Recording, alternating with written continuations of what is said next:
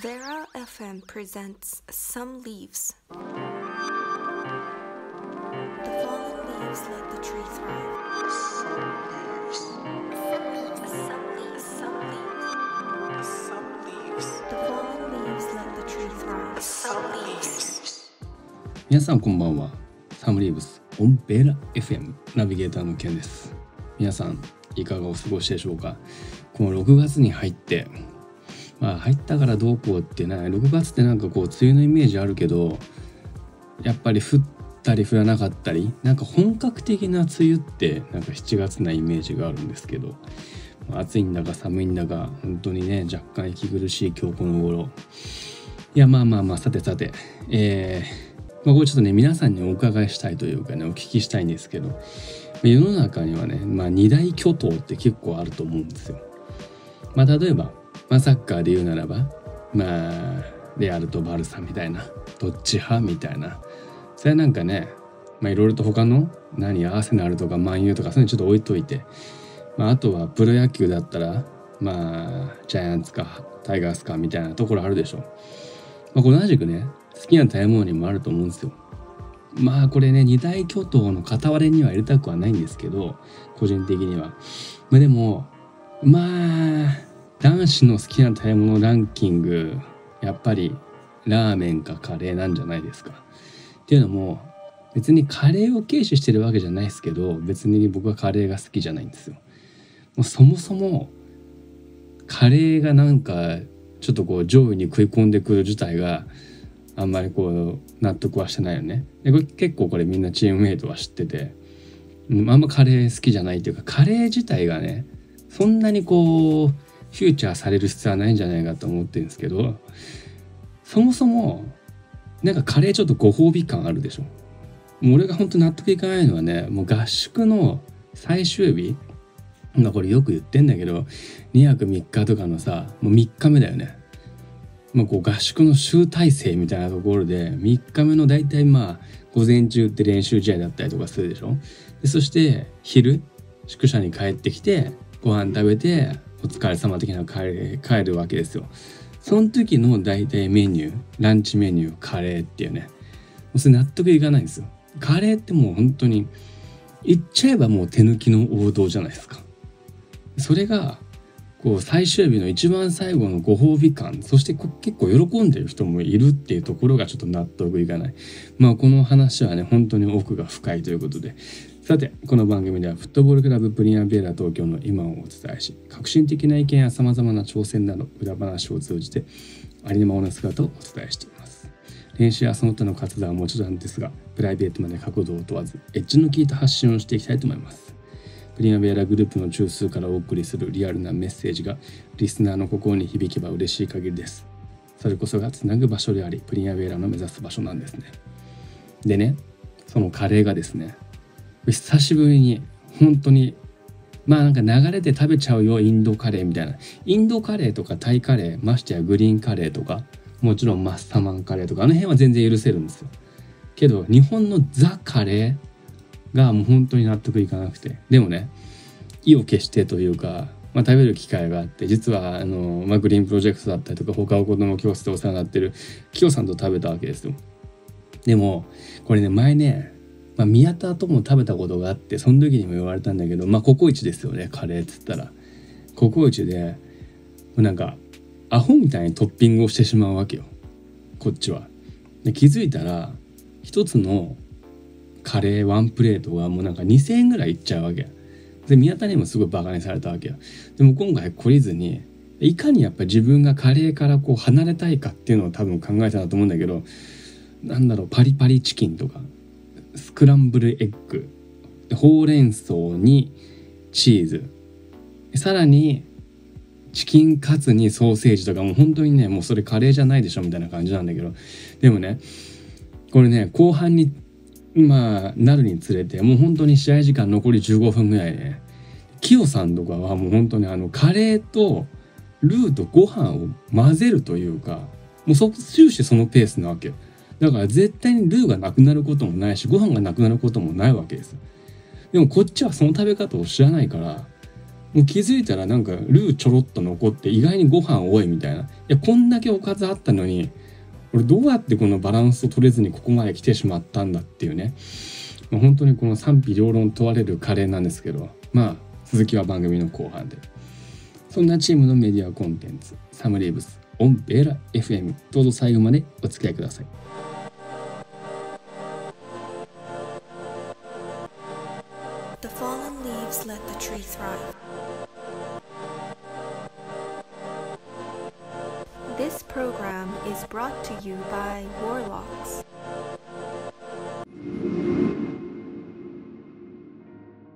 ではでは今日もメッセージが届いております。皆さんありがとうございます。メッセンジャー48さんからいただきました。いつもケンさんはキラキラしているように見えます。どうやったらそんなにキラキラしているのですか？何か秘訣を教えてくださいって。まあ別にキラキラしてないんですよ。キラキラしてないけどまあ目の前のことを必死になってやってるしというかなんというかまあ締め切りがあるからそれに追われてるってだけ。あやんなきゃやんなきゃって。まあね別にね。まあ仕事でパソコン使ってれば家に帰ってきてパソコンを開く必要もないだろうし、うん、別にやることなければ開かなくてテレビの前に寝てればいいんですよ。それが一番だと思うんですけどいかんせんやることがあるからまあ別にキラキラはしてないけどでもよどんでるとも思いたくないなっていうのとあとこれはねあの港区のサッカー協会の会長に煽られたんですけどあのちょっとこうスケジュールが合わなくてもうちょっと先のスケジュールくださいみたいなこと言った時に「あれ？久世君ってフッカルじゃないの?」って言われたんですよ。このフッカルってわかります？フットワーク軽くないの？って煽られたらもうそこまで言われてしまったんだったらあ俺フッカルって思われてたのにフッカルじゃないんだって思われたらなんかもうそこで評価が下がってるような気がしてああもう一段階やっぱりフッカルと思われるというかフッカルが褒め言葉かどうかわかんないけどやることをどんどん見つけていかなきゃいけない。自分からどんどん先進まなきゃいけないなと思いました。心は置いてはいけないのと。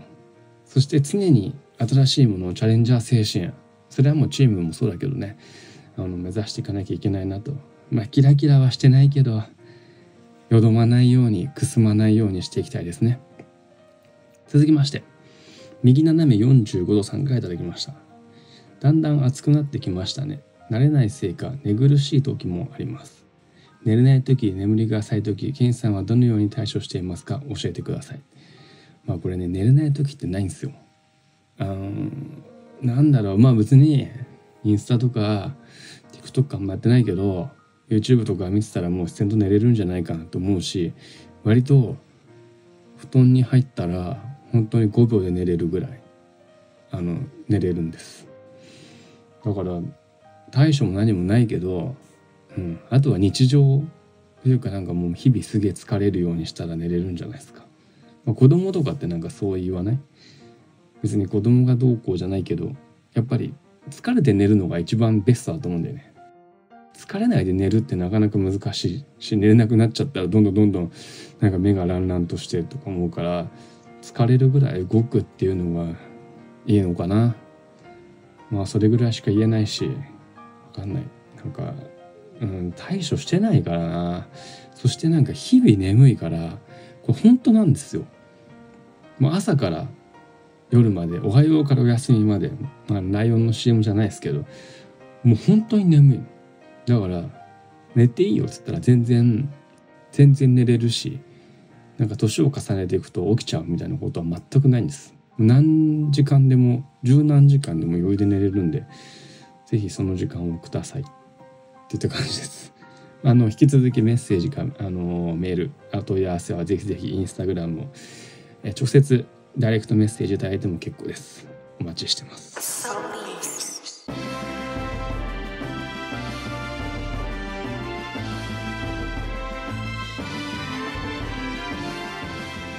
ではでは最後にクラブ情報をお伝えします、まあ、サッカーいよいよ第2節が今月ですね。6月の16日、えー11時15分キックオフ渋谷区スポーツセンター。そしてまあ今週も今週もというか来週かな？練習試合も立て続けにあって。あのまあ対戦してくださるチームに本当に感謝だしまあうちがねグラウンド取ってる以上はやっぱりね最低限やっぱりお互い挨拶しましょうよっていうね。まあそれはもうサッカー人というかもうマナーそこに関してはねうちの選手に対してもそうだと思うけどやっぱり来てうん監督やコーチに挨拶できないようじゃやっぱりいい選手とは言えないしその辺はヒデさんとてもやっぱり厳しいというかうるさいというか当たり前のことなんですけどね当たり前のこと当たり前にできなきゃ意味ないと思うんでまあその辺は引き続き共有していきたいなと思います。でフットサルに関しては、えー東京都4部リーグは、えー第2節ですね。6月の9日18時10分キックオフ。パライーゾ国分寺で。まあこれは僕らの、まあ、開幕戦